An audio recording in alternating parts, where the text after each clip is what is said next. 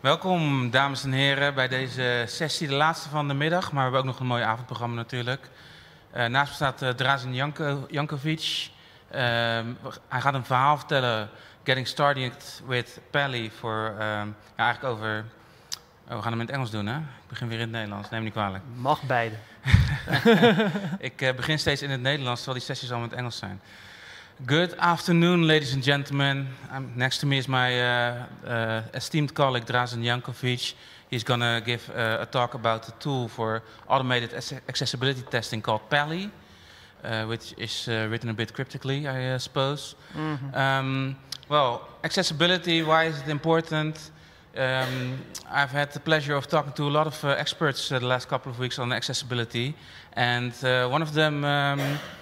Uh, told me this, uh, this quote that uh, stuck with me a little bit. And she said, um, buildings have to be accessible, and there's a lot of attention to that to make sure they have ramps, they have elevators, and all that. Why isn't the same true for, uh, for digital means, for a website or, or an app? And um, uh, there's a lot of uh, tools to be used. You can use checklists, you can get users with different disabilities involved to do some testing. Of, of course, you can also do some automated testing, what uh, Drazen is going to talk about. So Drazen is one of our, um, at Sogeti Netherlands, one of our uh, experts on the field of accessibility, uh, a UXer uh, in uh, the broadest sense of the word, but specific knowledge and expertise in ex accessibility. I've had uh, the pleasure of working with him on a project, so I know his, uh, his expertise is on a, quite a high level. Uh, a few uh, maintenance uh, message messages. Um, if you have any questions here in the, uh, in the house or people online, please ask them uh, right away. Just stick up your hand or put them in the chat, and uh, will get, get back to you. for the people that are walk, watching online, just put them in the chat, and I'll keep an eye on it and make sure that uh, will, will spend some time, time on it this year, for the first time, it's possible to actually rate the, the presentations and the talks. So feel free to go on the platform and uh, either rate and or give feedback on the, on the speaker. So uh, good for Drazen as a speaker, good for Sogeti as a uh, uh, host for this uh, event to get some feedback on it. And is that it? I think that is it. Okay, without further ado, Drazen Jankovic, go ahead. Well, thank you very much. I only accept five-star ratings. Everything below, mm, not sure if I'll read that one. Yeah. so, I'll uh, quick agenda. It makes absolutely no sense. I just put things down for fun. But uh, a little bit about me. I'm a full-stack developer at Sogeti. I am specialized mostly in accessibility for the last 10 years. Um, my passion for accessibility came from the fact that I used to be hospitalized for roughly three months, and the only thing that I had that connected me to the outside world was a PlayStation 3 with a controller. And if you've ever tried to browse the website using only four buttons, you realize how dire the need is for proper accessibility with either websites but also devices. Uh, as a hobby, I make cosplay armor and props, and I tend to then visit children's hospitals and you know, entertain the kids. Usually as something from Pokemon. Most often a bad guy that they can then beat up. It's fun. Uh, so yeah, what's accessibility? Well, the most common abbreviation that you will find online is A11Y, or Ally, or Ally, or it's pronounced in different ways, and the community is still not out whether that itself is actually an accessible term, because it does not adhere to the uh, standards for how to do abbreviations. So there's an issue there. But in general, what it comes down to is it's the quality of being easy to obtain, use, or understand. So whether that is a website, an app, a game, or even a door handle, accessibility is all about how can we make something easy for everybody to use. And the main question that you then always get is, well, why should I care about accessibility? I'm not colorblind, I'm not disabled or anything. Two billion people on this planet are, and they need some form of accessibility features, either on your website or on the product that, that you create. So the question is then, out of the 7.4 billion potential customers, do you really want to isolate 2 billion of them immediately. And that's why you should kind of get into accessibility uh, when it comes to that.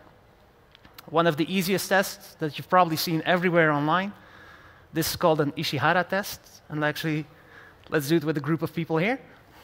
On the left image, what do we see? Circle, star, square. Yeah? And on the right one? A lot of colors. All right, cool. Well, this actually proves one thing. One in seven men has color blindness out of all of us here. Only I can read that the, there's the word no right here, which means I have color blindness because this is a reverse test. It flips around how you normally do these tests. So for me, all of these brown and orange dots here actually form one beige line spelling out no. Because that's how my eyes work in this case. The other one, everybody can see that one. It doesn't matter what type of color blindness you have. It's usually used as a default test just to show how these tests work. Uh, so how can we then help people that have issues like color blindness? And when it comes to online, we often adhere to the rules of WCAG, which is basically a set of rules um, that describe when does something adhere to the, uh, well, when the, it's a standard that sets a rule how to do the standards. Perfect sentence, no. It's a set of rules that it's intended to improve the quality of your experience online. It's made to, um, why am I losing my words here? It's so simple. I've written this. Uh, yeah, just improve the quality of any experience that you have online, whether that's a game, a website, even some movies like subtitles, that they also adhere to it. Now, one of the things when it comes to testing all of this, the WCAG has a list of roughly 500 rules. Uh, I know most of them by heart, but there's like rule 4.171-FF sub, it's like, I don't know. Like, there, there's a lot of these small sub rules that nobody can remember all of them. So what we then do is we use automation to help us with testing those types of rules. We use either Axe or Lighthouse, which are the two most common rules, um, tools. But one of the problems with them is that they only test on small parts of the website, or they grab everything, but then give you only one result back. And the problem then is like, well, is my entire page wrong? Is there just somewhere a small issue wrong? How do we test that? So Pa11y was created just for situations like that, where you can test from small components all the way to an entire site or even a flow. Uh, make sure that your forms don't just look good, but people actually can go through them in the correct order. And today we'll be looking at two of the tools that Pa11y provides, Pa11y itself and the dashboard, because I hate looking at um, screens that only show me a bit of code and nothing else. The other two tools that they have is the web service and the CI, which is exactly the little codes that are very hard to read. The web service basically provides your developers with the opportunity to make their own dashboard in any way you like, so not just with the way that the dashboard is provided here. And the CI basically gives you a command line interface that you can then connect to your build uh, to your builds, whether that's in Azure or Jenkins or whatever you use. Connect there, and you'll get an output that will allow you to block a uh, release of code, for instance, if something is wrong. So, it's fairly simple to install. Uh, for the developer Sunrise, npm install global pa11y, and then you run it by typing in the pa11y and the URL. And that's it. That's, I could end this presentation right now. This is how you install pa11y. The downside of this, though, is yeah, this is the output.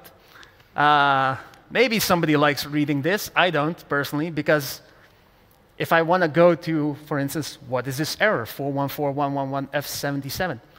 I don't know. I, it says here that it's a duplicate ID, but is that the F77 error? Is that something else? So there's no easy way of actually going to what's causing this issue. So we can end this immediately here and go like, this works for our developers, and others will say, no, we want something more beautiful around it. And that's what the entire dashboard comes into. So whether you use the web service to make your own dashboard, or if you use the predefined dashboard, that's what we're going to take a look into today. Now, one of the issues with installing a dashboard is there's some dependencies on it. In this case, you need MongoDB. Uh, if you're making your own dashboard, you can use any database you want. Uh, just provide the correct information for it. And we'll be running Puppeteer, which is basically we'll be running a Chrome browser automated so that it runs the test for us, acting like it's a Chrome browser. Uh, if you're on Debian or Ubuntu, you need those two libraries as, well, libness and libconfig24. Mostly, otherwise, Puppeteer doesn't work for you. So again, we need to install some extra stuff, clone the dashboard from GitHub, go into the folder, type in npm install, and you're done. Uh, final configuration that's needed. Again, a lot of this works directly out of the box, but if your database is somewhere remote, keep an eye for that. Like, where is the database, what's the host, and at what port is it running? And what you'll get is the dashboard, and I'm just going to switch over to the dashboard because I already have it running here.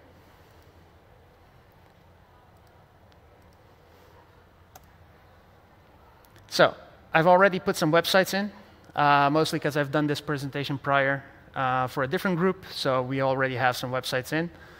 And what we can then see here is, for instance, my own website here is running at AAA, which is an old website of mine. That's why there's so many errors. But also we can see like, oh, well, nu.nl, eh, they're doing great. Only one error, which is fairly easy to fix. But how do you actually get to this point? Because normally, as soon as you start, what you see is only this button here, add new URL, and nothing else. So when you click on it, you can add any website, any website that you want to check, your own company, or are we like, nah, skip that one? All right, I saw people downstairs walking with NS signs, so let's do NS. Yeah.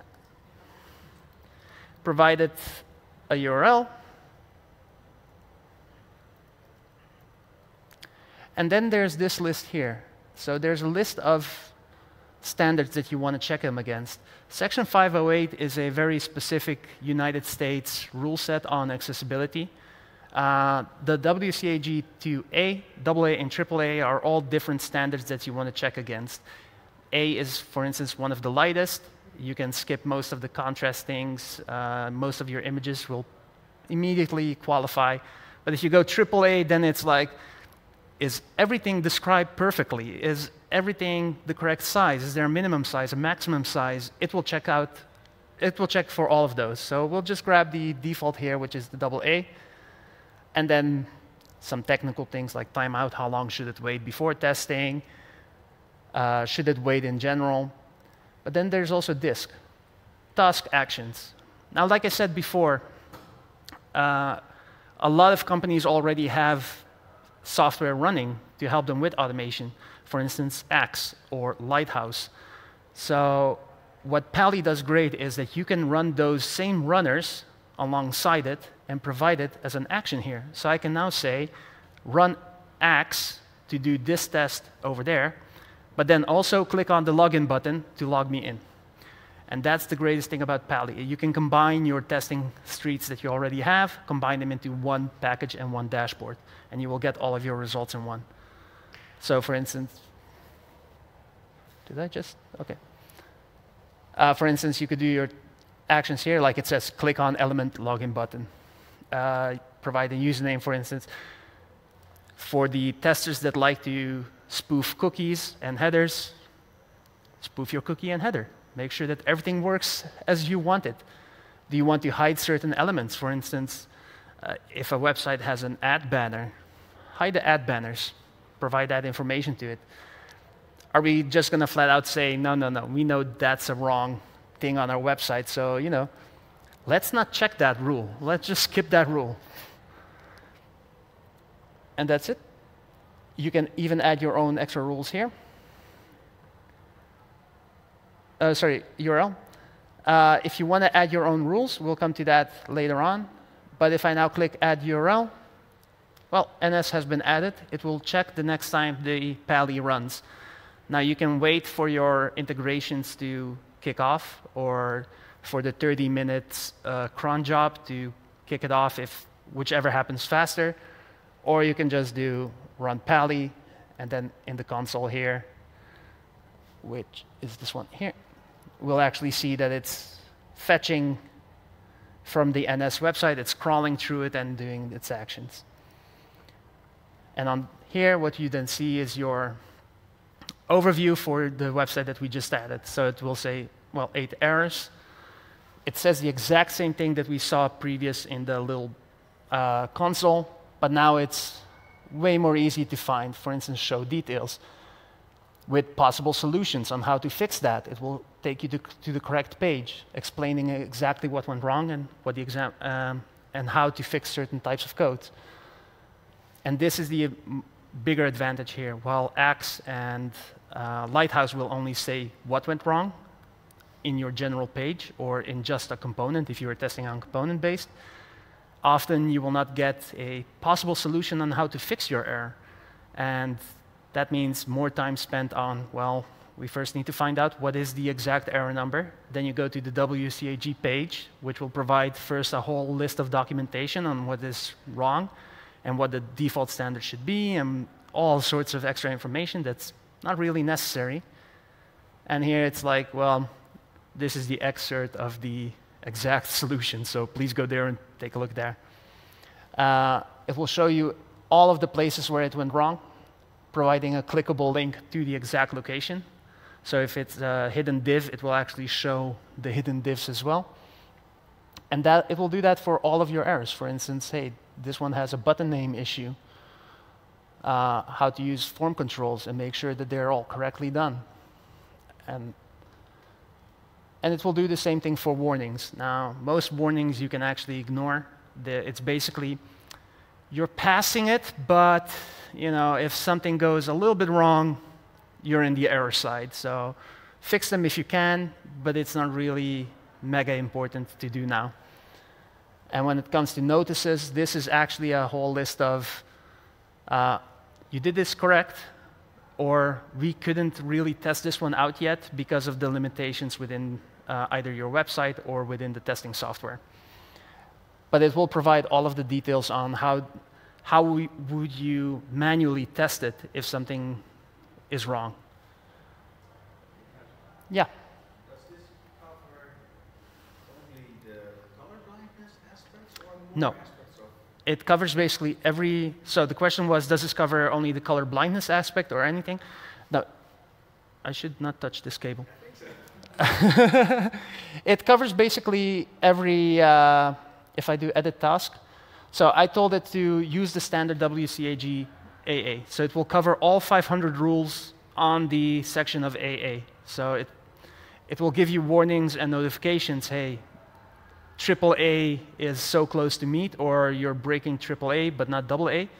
But it will only give errors that are breaking. So you could set up your Jenkins, for instance, to stop the production uh, on AA. And it will check everything from if you have videos on your website, it will make sure that there's subtitles on them.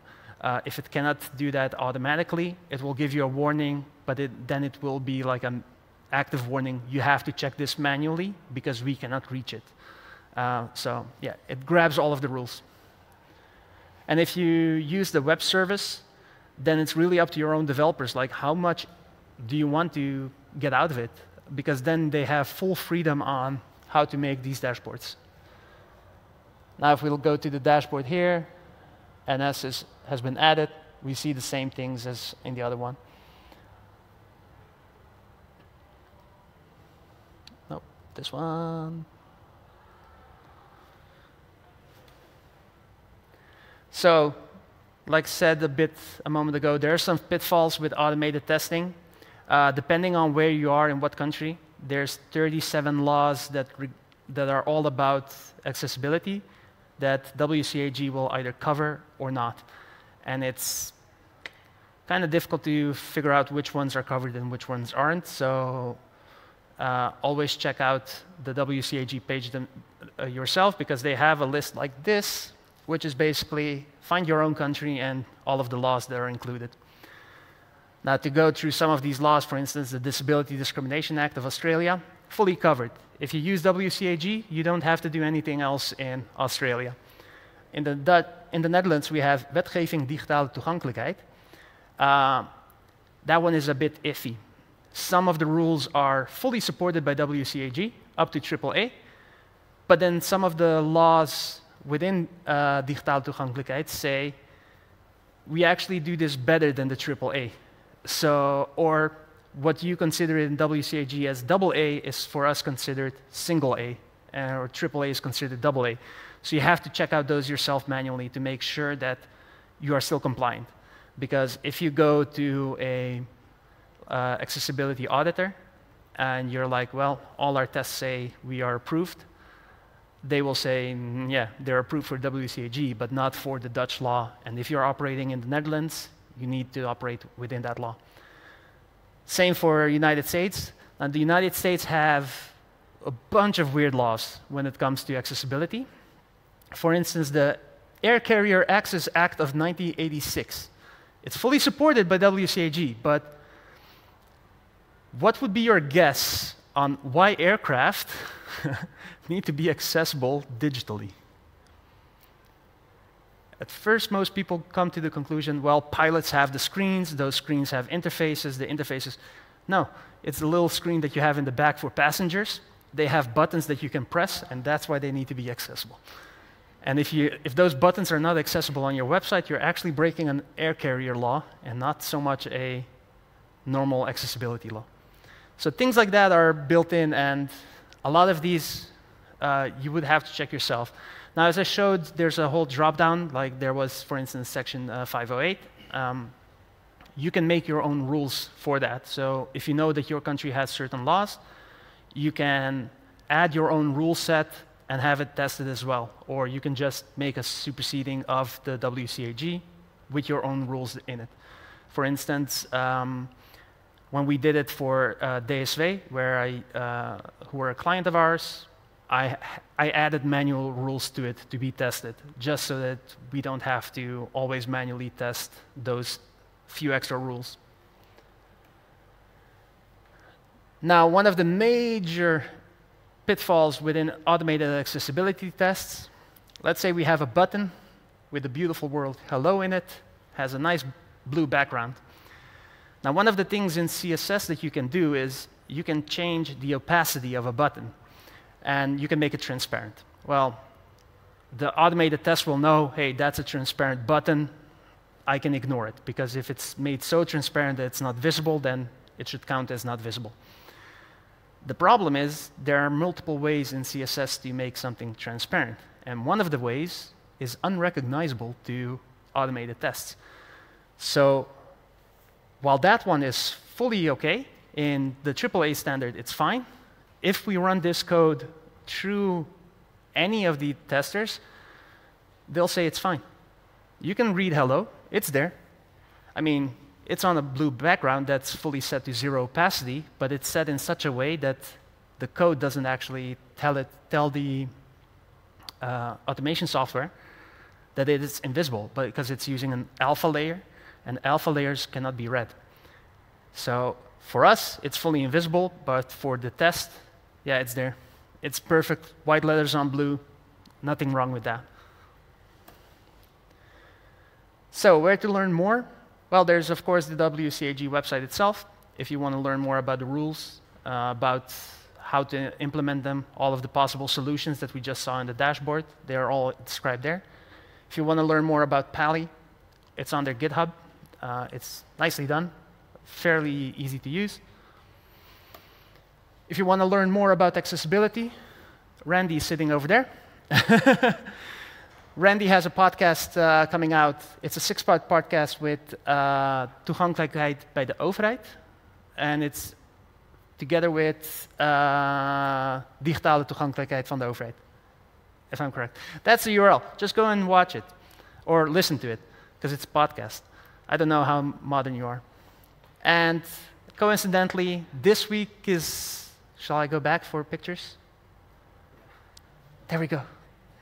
Yeah. Okay. Coincidentally, this week is also in the Netherlands Week van Toegankelijkheid. Uh, so a lot of this, uh, there's a lot of things happening online and offline as well uh, regarding accessibility. That's the website for it. Week van Digitale Toegankelijkheid. Uh, upcoming is Gebruiker Centraal on Thursday. And the Rotterdam Centraal, they're organizing a letter relay, if I understood correctly, which is basically they'll have people that have certain uh, slight mental disabilities, and they will have them read government letters to see do we actually understand what's being said here? Because people for often forget that language is also part of the rule set. Any questions? How fast did I rush through this? Oh, no. Any questions? any questions from the house? Thank you, Drazen. Yeah. Any questions here? No. Okay. Yeah, I have a couple of questions actually, if uh, Yeah. no one else is going. So, um, Drazen, you know a lot more about this than I do. So, uh, if I I say hope something I incorrect, please. If I say something that's not true, please please correct me. Mm. But um, uh, with with the automated testing, you talked a little bit about the limits. You gave a good example of of uh, how Mhm. it is limited. If you would use this to, uh, uh, if you would uh, use Pa11y to do some automated accessibility testing, would you dare to give a percentage of how much of the uh, how how you how much of the accessibility can you actually test with an automated uh, system? So it really depends on what you want to test. If you're testing it um, based on visual things, then I'd say you, you're around 60, 65%. Like most of the simple things like um, color blindness or legibility, you can do.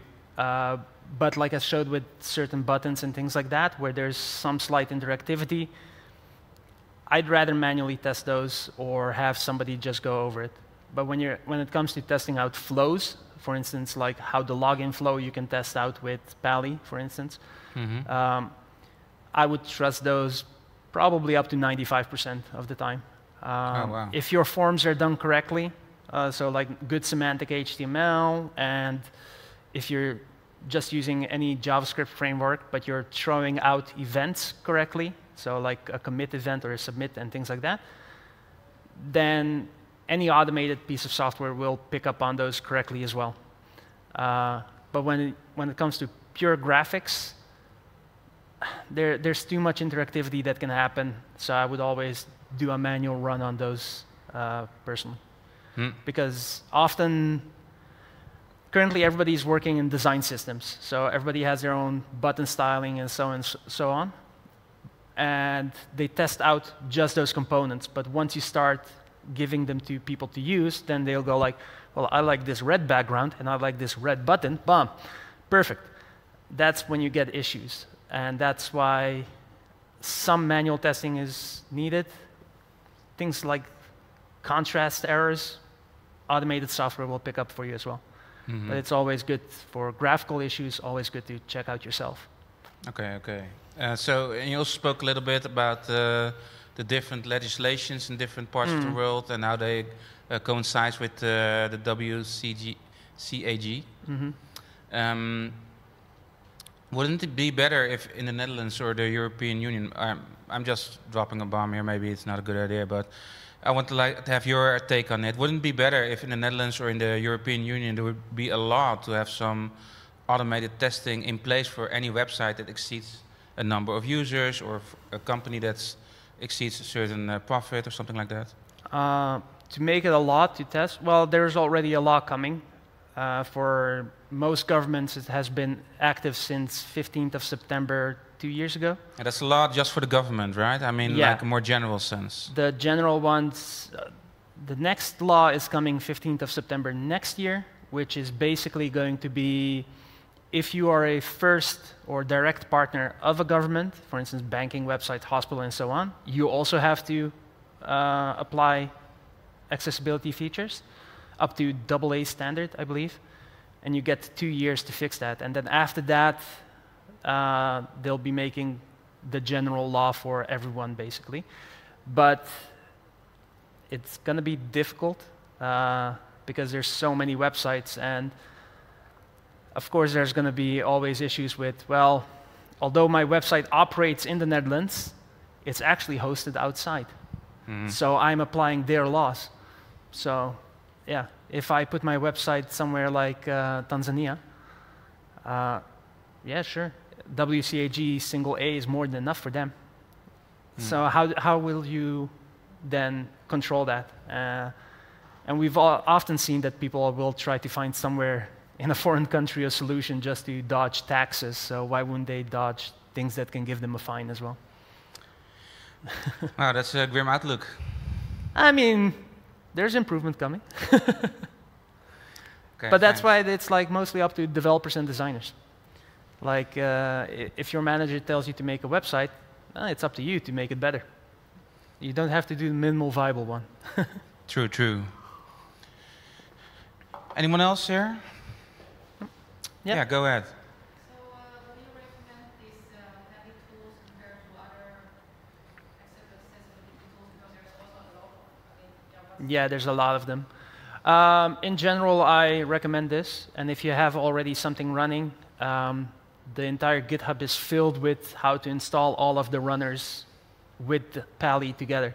So that you basically have Pa11y as a um, oversight, or like a master over all of the other runners. So you don't have to check different sources for all of your tests, but you can check it on one page. So that's why I would recommend Pa11y uh, in combination with the others. Like you don't have to run them. Uh, it, it can do most of the things on its own, but if you already have an Axe set up, why delete it? Just use it and integrate it in this one. Just run them together. It's possible. So, oh, you can just start with this. Yeah. The, the best thing about this one is that it's independent of what framework you're running in. Uh, if you're running Axe, it will play nice with things like Angular and React or Vue. But if something new comes up, mm, you know, it's never a thing. This one runs on top of your final product, so not so much directly on the source. So that way you, you're checking the output, not what the input is. So it doesn't matter what framework you're using behind it, it, it, it doesn't even see it. So, yeah. And you can use this as uh, also these tools, tools like for the certification of this uh, AAA, AA, uh, is this a good tool? You, if you run a manual test uh, after all of the warnings, yes, because I, I would still then check the warnings to make sure that it's not saying we couldn't test this. Uh, because if it cannot test, then you will think that you have the uh, certificate, but an auditor will say you never checked this. And we've had that in the past. We did all of our tests, for instance, with Axe.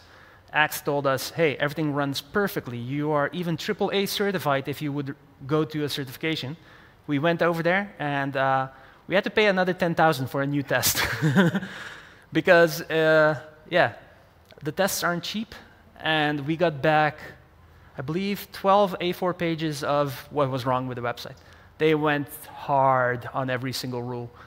Uh, so yeah, and Axe was like, no, it's fine. But then when you actually look further in, it's actually it's fine for the things we could test. They never give you the warning for the things they couldn't test. Hmm. So that's a slight issue. So for actual certification, you still need uh, humans. yeah, I would always do a manual test. Yeah. But also to get it uh, uh, certified. Oh yeah, the, for certifications they always do manual tests Yeah. anyway. So Okay, thanks so much. Thanks everybody for joining us here. Uh, also the people who are uh, watching online. Um, few reminders: you can still rate these uh, these sessions or give feedback. So please uh, please do that if you're willing. If you want to talk about social media about uh, this event, you can use hashtag QXDay2021. And um, yeah, the next session is uh, uh, a session downstairs um, with basically everybody there. It's about quality engineering strate- strategy boosts your IT delivery. It's downstairs in the Pesserij. For the people that are here, they can go downstairs. The people online can just click on the right session they want to uh, watch. Uh, Drazen, thank you so much Yeah, for your time no and problem. expertise. thank you very much.